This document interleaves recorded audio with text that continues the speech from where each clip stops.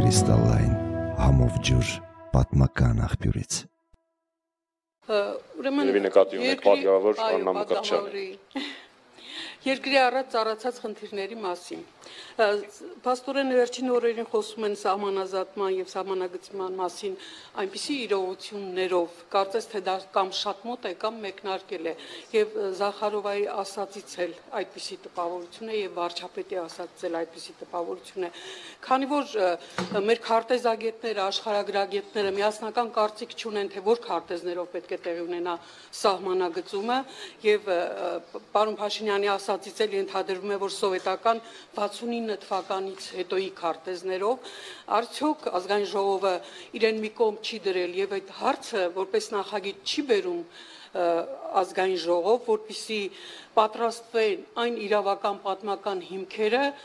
որով պետք է սահմանազատում իրականացվի վերջո եւ դրանից դուրս ոչ մի պաշտոնյա իրավունք չունենա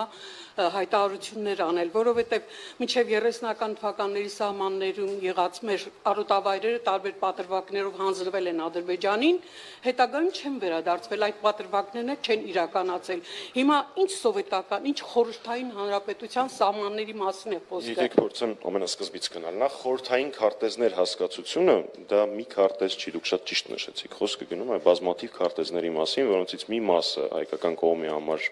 այսպես ասած Ազգային ժողովի անելիքն եմ ուզում իմանամ, նախագիծ չեք վերելու։ վերելու։ Կապասխանեմ ներողություն։ Շնորհակալություն։ Այդ քարտեզները շատ տարբեր են եւ առաջին հերթին ես կարող եմ հույս հայտնել, բայց այդ հույսը շատ թույլ է, որ մեր արտաքին գործերի նախարարությունը ունի առաջնահերթություն, թե որ թվականի քարտեզով էլ աշխատելու։ Այն քարտեզը, որը դուք նշեցիք, ամենաձեռնտուն չի Հայաստանի Հանրապետության համար։ 1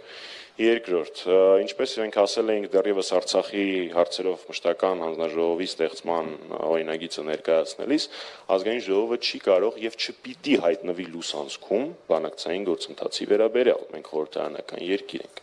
Երրորդ, ձեր նշած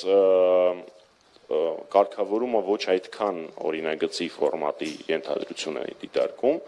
եւ ամենակարևորը, որ ես պիտի ասեմ,